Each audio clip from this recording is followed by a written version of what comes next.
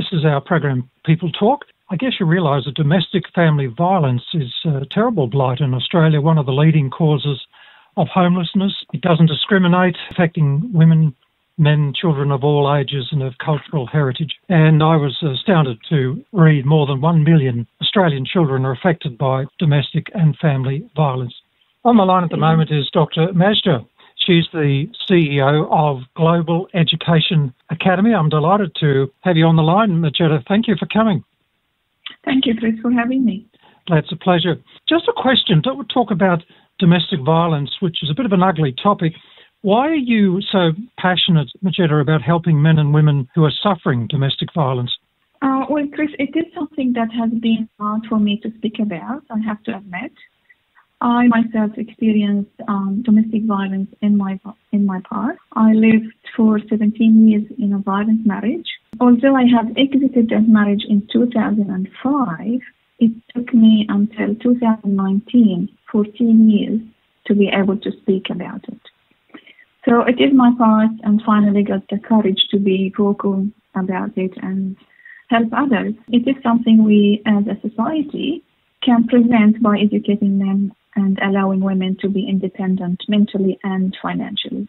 The main reason why I do have that passion for it. Yeah, thank you for, for sharing that. It seems astounding to me. We talk a lot about it, and yet my figures show one million, around about a million children in this country yeah. are affected by domestic. That's a huge figure, isn't it? It is. It is. Uh, sadly, it is a huge figure. Yes. But I, I, I tend to think that it's not that it's more now. It's not that it's more common now. It is actually more spoken about it now. So do you think it's always been there, but it's been kept hidden? Definitely, definitely. As I said, it took me 17 years in the marriage, which I was silent. 14 years after that, I was silent. And finally, I'm talking about it. Now, me as a figure will be added to these statistics now, only last year. But it has been there all the time. And you wonder how many women do not talk about it. So I believe it has been common for a long time. There are several factors that contributed to the fact that it is in the spotlight more these days than before. Why is domestic violence so common in virtually any town or city? You don't have to be in the country or regional areas, you can be anywhere. Why is it so common, Majeda? It's not more common now than before, as I said, Chris. It's more people these days talk about it. The, the world, as we know, is more connected now. So we know about someone in the other side of the world, which we before did not know that someone next door, you know. Also, women are not as silent as they used to be. They do not accept it these days as much as they did before. Also, I would say um, domestic violence these days is not as stigmatized. Used to as it used to be. Um, so there are more women who are likely to talk about it these days because it's not as stigmatized as it used to be. So they don't feel the embarrassment that they used to feel in the past. And also, I would say because if you speak about it, there is more support available now. While in the past, why would you talk about it? You get embarrassed, there's no support. Why would you talk about it? While these days, where there is support if you speak about it and if you speak up. So that encourages women and um, children even to talk about it. Yes, certainly a good thing to talk about it. Um, yeah, one, neg- um, one negative thing I was going to say, doesn't that put the women at risk? Um, well, they are at risk anyway. If they don't speak about it, they are under domestic violence and family violence. They are. At, if they speak about it, at least they they will get some support. Absolutely, yes. Now you're yeah. the CEO of the Global Education Academy. Just yeah. tell me how the academy works. Let me first tell you, before I, I speak about this Chris, I will, um, let me tell you and explain how I was able to leave the violent marriage. Sure. Which I found, I found myself in that marriage at the age of 17. At that time, I insisted to start my university degree. So after I finished high school, got married, the only thing that I wanted is to get to university. So I did study mathematics, computer sciences, bachelor degree. Took me four years. Then I did a master's degree, took me another three years, and that was back in Israel, in a Palestinian village in Israel. I knew I could not get out of that marriage and have custody on my three children if I did it in that country. So I decided to get out, go to a Western country where there is law to protect me at least. I studied really hard and I gained a scholarship to study at UNSW for a PhD degree. That was my ticket to freedom. It wasn't easy and it was almost impossible to get these scholarships and to get out of a country with three children. So this experience actually proved to me that having education and a couple of degrees um, under your belt is very powerful. Would I be able to do that without my education, without my degree? Absolutely not. Of course, from culture to culture, from time to time, from country to country, the magnitude of these things may vary. However, wherever you go, no one can take your education from you.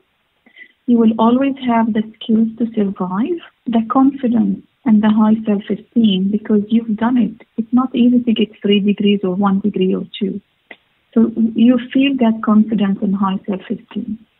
So education does make people confident and have self, high self worth at least. And that makes them less acceptant to be a victim of domestic violence. But more importantly, come up with a solution because you are equipped with problem solving skills and survival skills. So when you go to university, when women and girls go to university, it's not about just getting assignments, getting ticked, getting um, marks. It's, it's about the survival skills that they learned throughout that three, four, five years. So in the academy, we support girls to get to high level of ATAR. So it's high, high level of education, high level of ATAR and HSC. So we do support them through um, partial and full scholarship. We have special one for single mothers as well. Um, not all mothers come and say, hey, I'm under domestic violence, give me a scholarship for my daughters. But we do have that venue where they can anonymously put that request and ask for uh, a scholarship or, or, or support. We also support girls. There is an organization in Melbourne. It's called One Girl. And that is an organization that supports girls in Africa to, to pay their tuition fees to go to high school.